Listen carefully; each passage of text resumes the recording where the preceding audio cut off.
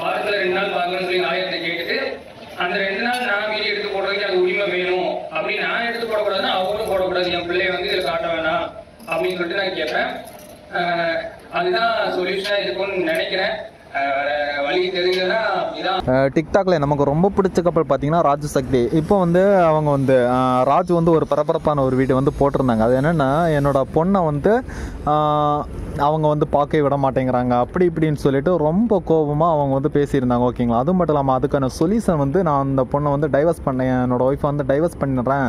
So அதுதான் கரெக்டான solution இருக்கும் அப்படின்னு சொல்லிட்டு கோபமாக அந்த வீடியோவில் வந்து ஷேர் பண்ணியிருந்தாங்க. அதை பார்த்துட்டு நிறைய பேர் இது வந்து கரெக்டான சொல்யூஷன் இருக்காது அப்படின்னு சொல்லிட்டு கோபமாக வந்து கொந்தளிக்கிறாங்க ஓகேங்களா? ஸோ இந்த வீடியோ தான் இப்போ செம வைரலாக போயிட்டுருக்கு ஸோ அதான் நீங்கள் இப்போ பார்த்துட்ருக்கீங்க